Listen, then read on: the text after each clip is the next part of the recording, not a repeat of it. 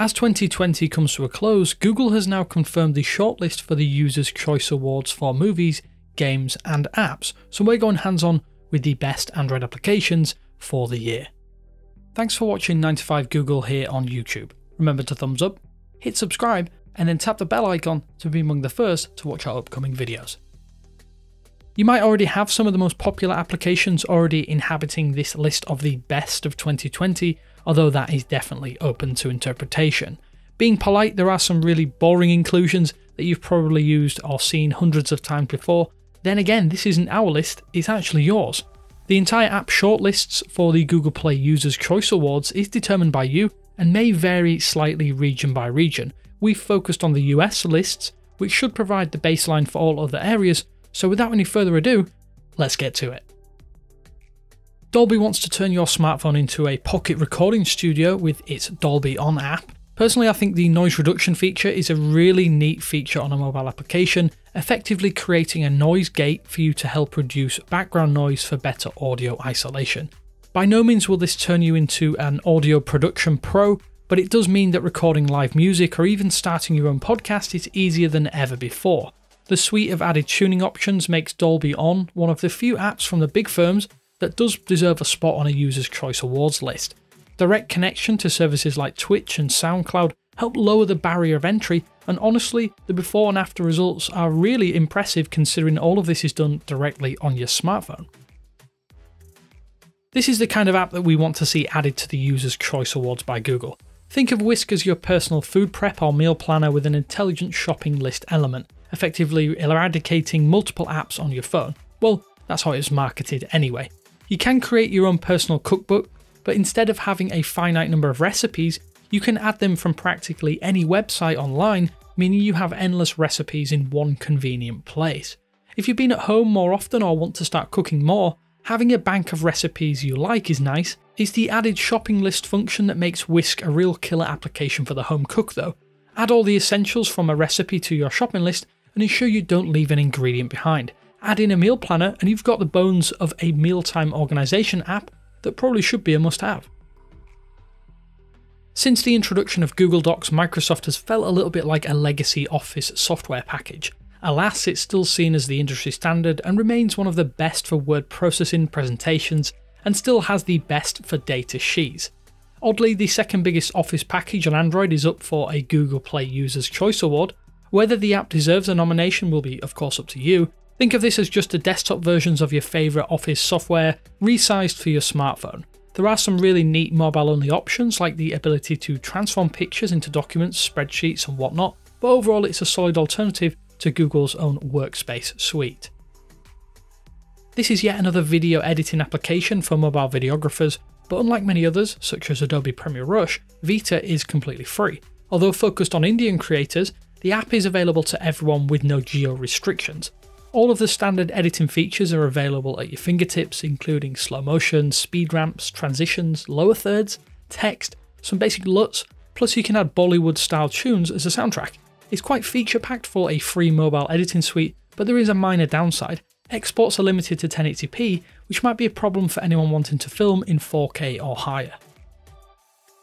I'm sure, like me, you had no idea that it was possible to effectively map your personality using your smartphone, but supposedly the pattern is able to do that. I'm not quite as convinced this is possible, but with over 1 million app installs, it has a nomination for a User's Choice Award for 2020. The principle is to essentially find your pattern, whatever that may be, which helps you connect and find like minded people within the application. It does feel a little bit like a dating app with all the added personality trait questions, but if it works for some people, then so be it. Personally, trying to assign data to a specific personality trait seems a very flawed concept, but again, if it works for some people, then that's a good thing.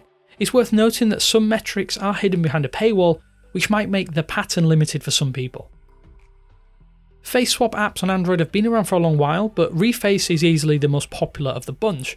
Despite some privacy concerns, Reface and apps like it allow you to snap a picture of your face and then without needing any VFX or After Effects knowledge, you can apply your likeness to any number of celebrities. It utilises the sometimes controversial deepfake technology that skirts a fine line between copyright infringement at times, but being able to put your face onto famous stars of the movie screen might be too hard to pass up. You can export your creations into a multitude of formats, including animated GIFs and standard video formats too.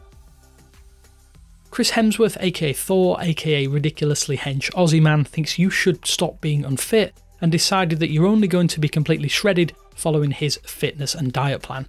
Centr is another fitness app aimed at helping you reach your workout and fitness goals, but with Chris Hemsworth's admittedly rugged good looks slapped atop. So definitely worth a User's Choice Award shortlist place just for that alone. There is a 7 day free trial, but it does cost a whopping $29.99 a month for guidance and fitness advice from personal trainers. If we're being honest, we're not entirely sure that Centr will have you looking like Thor, but it might be helpful if you do lack the motivation to get moving. Learning a new language is now more accessible than ever thanks to numerous services, platforms, and the internet itself. We're not sure if Speekoo is in any way revolutionary, but we guess it tries to make learning another language fun and accessible. The structure is kind of like a story walking simulator hybrid. Yes, it's hard to kind of describe. The actual learning element seems pretty good, with recall being a big component. The lessons are free, with paid for tiers offering one to one support or tuition from language teachers and experts. When you make progress, you unlock videos and other travel tips. It's an interesting concept, but it's probably only really useful for learning basic conversational skills in up to six languages, including Japanese, French, German, Spanish, Chinese, and Italian. It probably comes as no surprise that one of the newest streaming services with some of the biggest franchises and large marketing budget is hitting the top of app charts around the globe. That said, the Disney Plus app deserves to be among the Users' Choice Awards candidates simply for the excellent Mandalorian. There isn't much to it, it's just another streaming app that has all of your favourite Marvel, Disney, and Pixar content in one place. It is, though, one of the most affordable streaming services too, at just $6.99 per month.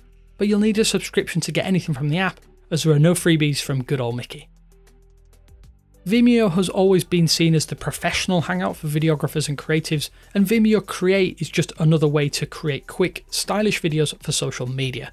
Some features are though hidden behind a paywall. There are a few templates that will help you up your production levels instantly, but you can go all in and make your own concoctions.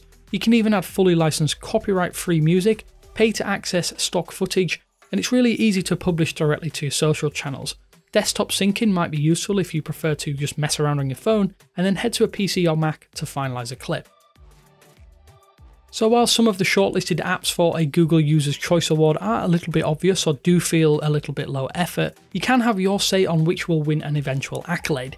You'll need to head to your respective Play Store homepage where you'll see a banner ad promoting or prompting you to vote for your favourite. It's also worth noting that there are some slight regional variations too, which means you might not see exactly what US Play Store owners and voters will see. But with that said, we want to hear what you think. What is your favourite from the shortlist, or do you have any suggestions for apps that should have made it onto the list or deserve a little more recognition? Let us know down in the comment section below. Until next time, this is Damien with 9to5 Google saying thanks for watching, and I will speak to you later.